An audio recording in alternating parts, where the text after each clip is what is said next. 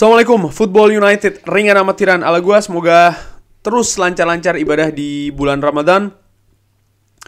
Kali ini gue ingin view ya hari Kamis malam. Jadi ada lanjutan kompetisi di Eropa, Europa League uh, perempat final. Ini jadwalnya waktu Eropa. Um, ada satu jadwal pertama itu Feyenoord menghadapi AS Roma 18.45 lalu jam 9 Manchester United uh, di leg pertama akan menjamu duluan Sevilla. Sevilla ini kan kabarnya menjadi tim pemilik dalam tanda kutip Europa League karena uh, gelarnya cukup banyak ya di Europa League. Sevilla sendiri berlaga di kompetisi Europa League ini kan setelah mereka tersingkir di fase grup Champions League. Di grup G bergabung bersama Manchester City, Borussia Dortmund dan juga FC Copenhagen. Sevilla ini finish di peringkat ketiga dengan nilai 5 sehingga harus turun ke Europa League. Di perjalanan grup di Champions League ini dia raihannya Sevilla. E, mereka menang sekali ketika menang menghadapi FC Copenhagen 3-0. Tapi selebihnya mereka dua kali seri dan tiga kali kalah. Yang menarik adalah bagaimana di pertandingan tandang mereka ini dua kali seri sekali kalah. Tapi justru ketika di main di kandang sendiri dia ini kalah, mereka ini kalah bersaing dengan Manchester City dan juga Borussia Dortmund bahkan kalah telak ya 0-4 dan juga 1-4 pada saat itu. Itu di bulan uh, September Oktober tahun lalu. Sementara di perjalanan di Europa League justru sebaliknya, ini yang unik ya. Bagaimana Sevilla ini lolos karena mereka berhasil uh, menabung duluan ketika mereka bermain di kandang. Ketika menghadapi PSV Eindhoven di um, di Europa League mereka menang 3-0 di Spanyol lalu mereka kalah 2-0 di Eindhoven. Tentu saja agregat 3-2 mereka lolos.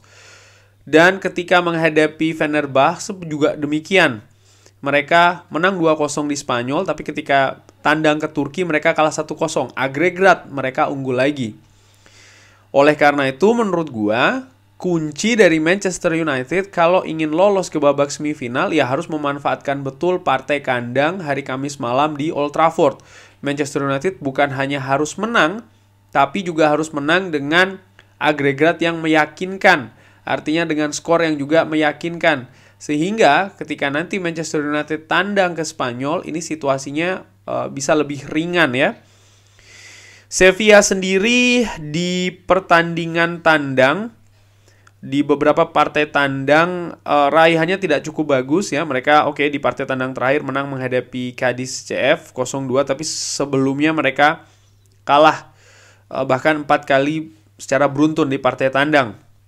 Sevilla sendiri tentu saja um, sekarang ini dilatih oleh pelatih yang baru kan ya. Ada pergantian pelatih di sana.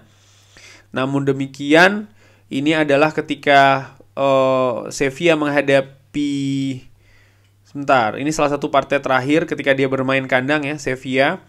Ini mereka bermain dengan 4-2-3-1. Bahkan di partai tersebut ada dua kartu merah untuk Sevilla.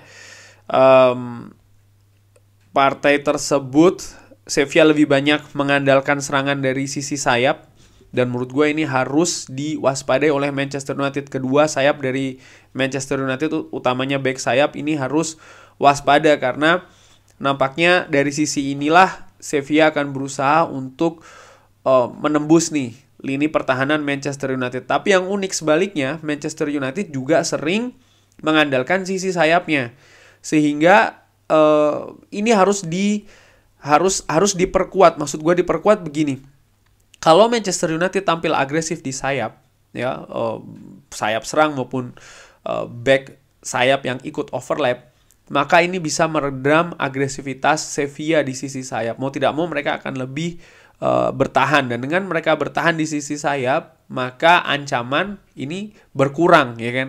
Ber, uh, menyerang adalah bertahan yang paling baik. Jadi kalau Manchester United bisa tampil agresif di sisi sayap ini bisa mengurangi sekali lagi agresivitas Sevilla yang banyak juga mengandalkan sisi sayapnya paling tidak di pertandingan terakhir nih dan Pemain yang harus diwaspadai di kubu Sevilla menurut gue ada dua. Gelandang Eric Lamela. Gelandang ini tentu saja pernah bermain bersama dengan Tottenham Hotspur ya kan di Premier League. Jadi dia sudah tahu karakteristik uh, tim Premier League ini seperti apa dan juga penyerang Maroko Youssef Nesri ini merupakan uh, top skor saat ini ya dengan uh, raihan gol plus assist di Sevilla dan menurut gue ini harus diwaspadai. Nesri ini um, dia besar ya artinya dia tinggi tapi dia juga punya kecepatan dia kuat bola-bola udara dan dia juga punya penetrasi yang berbahaya sehingga harus diwaspadai.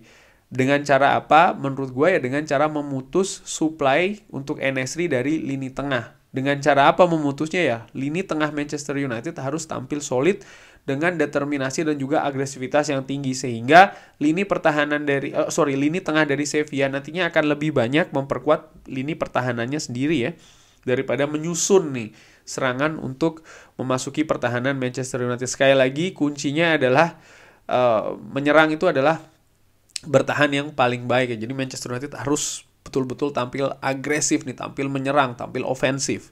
Di pertandingan terakhir Manchester United menang 2-0 menghadapi Everton. Di situ gue lingkari Marcus Rashford tanda tanya. Ya, sampai dengan video ini gue bikin, belum jelas situasi dari Marcus Rashford dan dari beberapa kabar yang gue dapatkan hari ini nampaknya besar kemungkinan Marcus Rashford ini akan absen di pertandingan uh, Europa League ya di Old Trafford hari Kamis malam waktu Eropa atau hari Jumat berarti dini hari waktu Indonesia ya menurut gue Erik Ten Hag pun juga tidak akan me mengambil resiko. Kalau seandainya Marcus Rashford mungkin cederanya tidak begitu parah mungkin ya gue belum tahu. Sekali lagi ini hanya asumsi gue kalaupun seandainya kan tidak berat cederanya gue pikir juga Erik Ten Hag tidak akan mengambil resiko di sana. Uh, sebelum ke formasi gue ingin melihat juga bagaimana jadwal dari Manchester United jadi di tanggal 13 Manchester United ini kan bermain di kandang sendiri menghadapi Sevilla tapi tiga hari kemudian akan tandang ke City Ground. Jadi ada selisih tiga hari di sana. Lalu empat hari Manchester United setelah menghadapi Nottingham Forest di City Ground away ke Sevilla. Dan tiga hari kemudian semifinal Piala FA menghadapi Brighton. Jadi satu, dua, tiga, empat, empat jadwal ke depan ini sangat rapat dan menurut gua ini akan mempengaruhi ya bisa jadi akan mempengaruhi situasi kondisi squad Manchester United. Salah satu kuncinya ada dua, yaitu adalah ya rotasi um, dan juga nomor dua Manchester United beruntung nih. Ada kabar bahagia kan, ada kabar bagus, ada kabar yang bikin happy. Bagaimana duo pivot Casemiro dan juga Christian Eriksen ini sudah bisa kembali lagi ke Manchester United ke squad untuk ya bahkan bisa untuk dimainkan ya. Casemiro sudah selesai akumulasinya sementara Erikson kemarin ketika menghadapi Everton sudah pulih nih, sudah bahkan sudah bermain ya kan walaupun tidak dengan menit bermain yang tinggi tapi paling tidak dengan dimainkannya Christian Eriksen ini secara fisik dia sudah siap dan besar juga peluang Christian Eriksen dan juga Casemiro akan diturunkan ketika menghadapi Sevilla. Uh, perkiraan atau penghadapan formasi mungkin 4-2-3-1 David De Gea, Varane Martinez, Malaysia di kiri karena Shaw uh, situasinya juga masih tanda tanya ya kan dan menurut gue sekali lagi tidak akan diambil resiko oleh Erik Ten Hag. Di kanan gue lebih memilih uh, memilih sorry memilih Diogo Dalot yang punya kemampuan ofensif lebih baik daripada seorang Aaron Wan-Bissaka. Casemiro dan Erikson bisa saja dipasang di pivot ya uh, Anthony di kanan, lalu Jadon Sancho di kiri, Bruno Fernandes di posisi nomor 10, kembali lagi ke posisi nomor 10, sementara di depan Anthony Martial. Jadi Jadon Sancho ini akan diplot sebagai pemain yang menggantikan uh, Marcus Rashford. Atau Manchester United juga bisa bermain dengan 4-1-4-1. Casemiro akan bermain di uh, gelandang bertahan ya sendirian, sementara Scott McTominay bisa dimainkan didorong berduet dengan Bruno Fernandes tuh di tengah, Anthony di kanan, di kanan, Jadon Sancho di kiri dan di depan Anthony Martial. Manchester United sampai dengan saat ini rekor bermain di kandang sangat luar biasa di 1 2 3 4 5 6 7 8 pertandingan terakhir satu kali seri lainnya Manchester United bisa menang dan melihat situasi dari Sevilla Walaupun Manchester United sekali lagi akan tampil kemungkinan besar sekali tanpa Marcus Rashford, tanpa mesin golnya. Tapi gue juga menilai uh, banyak pemain Manchester United yang sebenarnya punya kemampuan untuk mengkonversi peluang-peluang menjadi gol.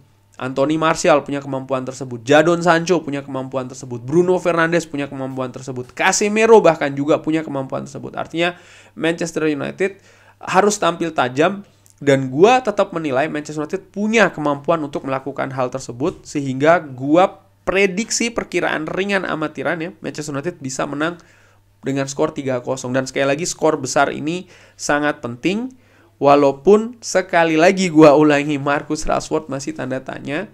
Namun ya uh, squad Manchester United gua nilai bisa sih kalau tampil konsentrasi penuh, tampil fokus uh, bisa mengemas kemenangan yang besar. Gua menyaksikan kebetulan partai PSV Eindhoven menghadapi Sevilla. Uh, pada saat itu Sevilla tampil bertahan, PSV Eindhoven sayang sekali tidak bisa memanfaatkan peluang-peluang banyak ya. Uh, di sisi lain juga mereka tampil kurang begitu kreatif dalam mengkreasi serangan-serangan di sepertiga akhir terutama di kotak penalti Sevilla. Dan kalau Manchester United bisa melakukan hal tersebut artinya tampil kreatif ya terutama di daerah pertahanan Sevilla dan gue yakin dengan tampilnya Casemiro, Christian Eriksen dan juga Bruno Fernandes Manchester United punya nih uh, amunisi ya pilar untuk bisa tampil dengan visi permainan yang kreatif dan semoga saja pemain-pemain lain juga bisa menjadi solusi dengan tampil tajam di depan. Kurang lebih demikian bagaimana Mursobat Football United. Siapa kira-kira yang akan menggantikan Marcus Rashford? Prediksi skor seperti apa? Formasi yang diinginkan seperti apa? Drop di kolom komen beserta alasannya. Terima kasih sudah menyaksikan. Jangan lupa like, subscribe. Assalamualaikum warahmatullahi wabarakatuh.